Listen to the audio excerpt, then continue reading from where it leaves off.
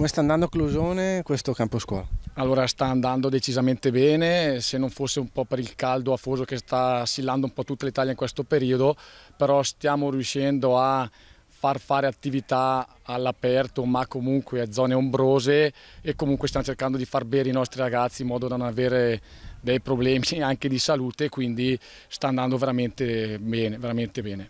Quanti sono? Da dove vengono? Allora sono 54 ragazzi per la maggior parte dell'altipiano di Clusone, perché voglio ribadire che questo non è, siamo sì ospitati nella città di Clusone, ma è il campo scuola da zona 17, quindi tutto l'altipiano di Clusone, tutti i gruppi alpini dell'altopiano di Clusone sono coinvolti. Abbiamo una ragazza che viene da Nembro, che è la più distante, abbiamo qualcuno eh, della zona 18, quindi la zona, parlando di alpini, della zona di Ardesio, Valbondione, a salire la vallata, e poi ecco prettamente sono di Rovetta, comunque Clusone, Fino, alcuni sono Gavazzo.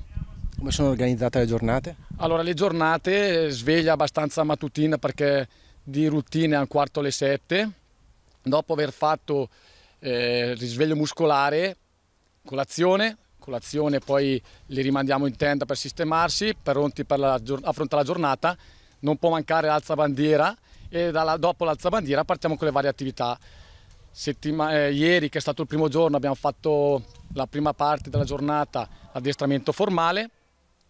Nel pomeriggio abbiamo fatto la prima camminata al di fuori della casa dell'orfano per saggiare le forze dei nostri ragazzi, per capire dove potevamo spingerci. E ieri sera ci sono stati come ospiti il gruppo del soccorso alpino di Clusone, la città di Clusone.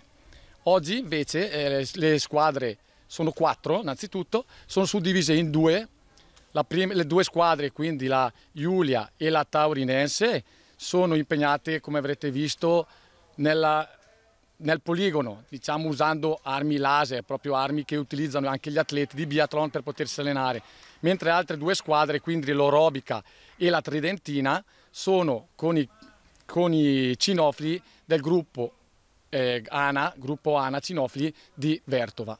Anche quest'anno andiamo a toccare i paesi eh, di, Castione, di, Castione, della Presolana, ovviamente Clusone sul territorio con, eh, con, la, sua, con la, sua, pineta, però anche i paesi di, ono, eh, di onore e anche di, di Rovetta.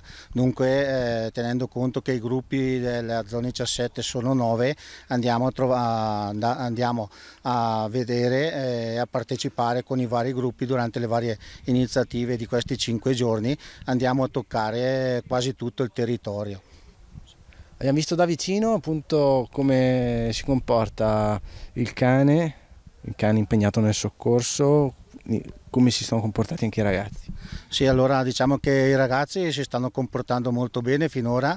Eh, oggi abbiamo, siamo rimasti qua alla casa dell'orfano, abbiamo avuto diverse iniziative. Questa mattina abbiamo iniziato con la pulizia delle, della pista ciclabile, eh, ci sembrava giusto tutto ciò e poi abbiamo fatto vedere come funziona un drone, che cosa, cosa il significato dell'utilizzo del, del, drone e oggi pomeriggio invece eh, siamo andati nella pineta con l'unità cinofila di Colzate per una dimostrazione quindi sono cani speciali, in che modo, quando intervengono questi cani? Sì, allora sono, questi cani intervengono durante tutte le, le catastrofi che ci sono, come quelle eh, dell'Aquila che c'è stata, eh, quella di Amatrice, dunque proprio vanno a lavorare eh, in questi ambienti dove eh, le persone sono eh, sotterrate dalle, dalle macerie.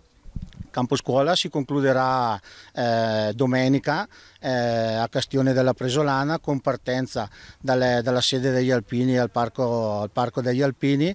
Ci sarà la sfilata per eh, le vie delle, del paese con tutti, tutti, i ragazzi che hanno partecipato al campo scuola, il, i gagliardetti di tutti e nove i gruppi delle, della zona 17 e anche quelli degli amici dei paesi vicini e poi una volta terminata la sfilata andremo in chiesa, alla chiesa di Castione per la Santa Messa alle ore 11 e a seguire ci sarà il pranzo con tutti i genitori dei ragazzi che hanno partecipato al campo scuola.